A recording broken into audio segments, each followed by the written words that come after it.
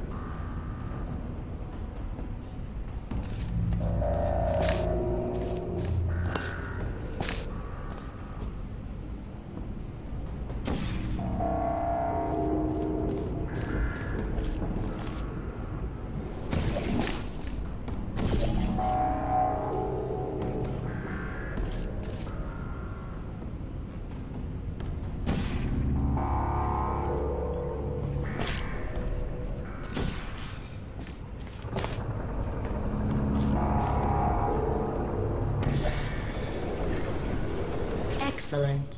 You're a predator, and these tests are your prey. Speaking of which, I was researching sharks for an upcoming test.